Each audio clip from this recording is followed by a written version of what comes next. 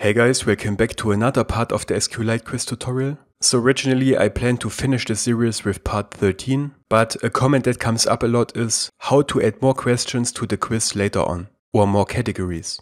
This is actually pretty simple, and the only reason I didn't implement this earlier is because I didn't want to prepare another user interface for that, where we can take the input, because I didn't want to blow this tutorial up too much. What we will do instead is we will only add the necessary methods in this video, and you can then yourself decide where you call this method, how you take user input for the new question, and so on.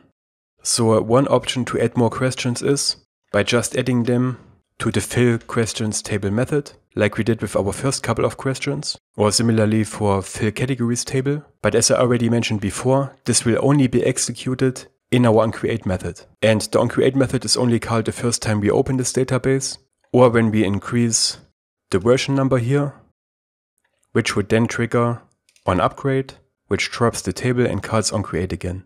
So after you made changes to any of these fill methods, you either have to increment the version number or uninstall the app and reinstall it. Otherwise the changes won't be applied.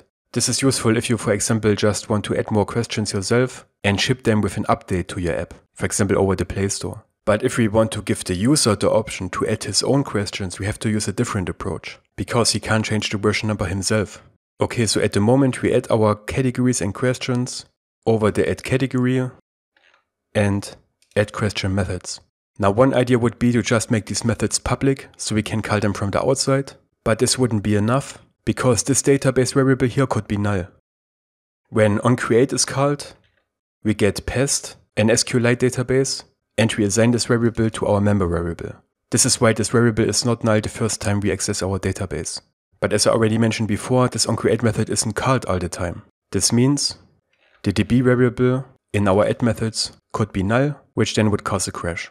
Okay, then the idea would be, why don't we just call db equals getWritable database? This way we have access to the database and the variable is never null. But there are two problems with this approach. First of all, this is called unnecessarily often, because we call these methods multiple times in a row. And actually this wouldn't even work, because if the database is accessed for the first time, getWritable database triggers onCreate. And when we then call getWritable database while we are still executing onCreate, this will try to call onCreate again, and we would create recursion, which would actually throw an error and our app would crash. So we can't call this method in here.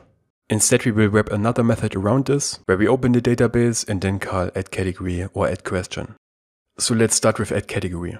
First of all, we click on it and press Shift F6 because we want to rename this method to insert category. This name is a bit more fitting for what it actually does. And I want to use the name add category for our new method, which we then call from the outside.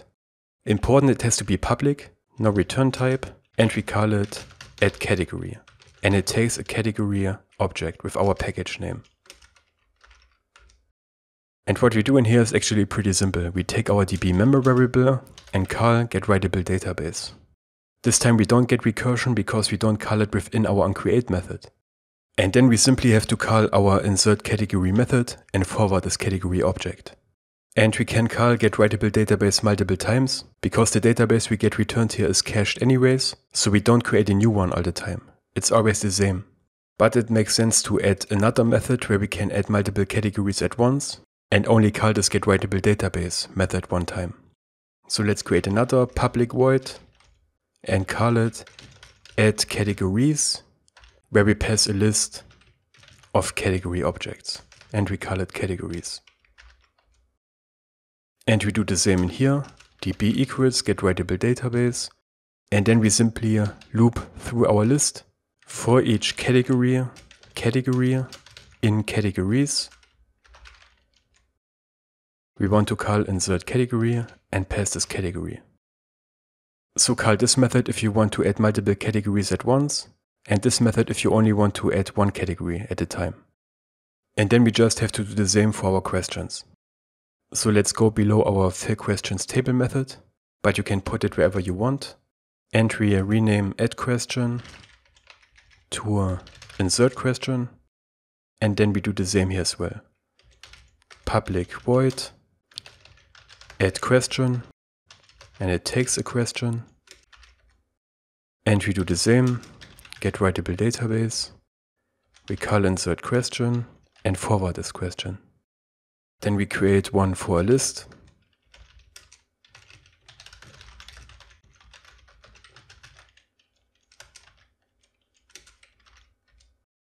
db get writable database, a for loop for each question question in questions, insert question question. Pretty simple.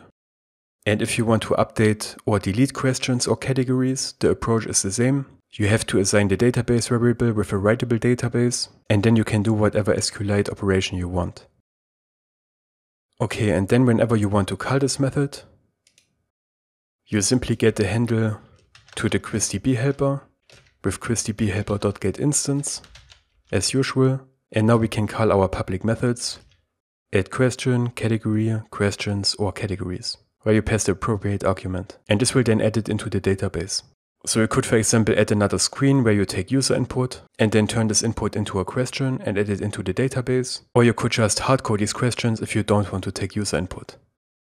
Okay, that's it. If this video was helpful, please leave a like and don't forget to subscribe to the channel. Take care.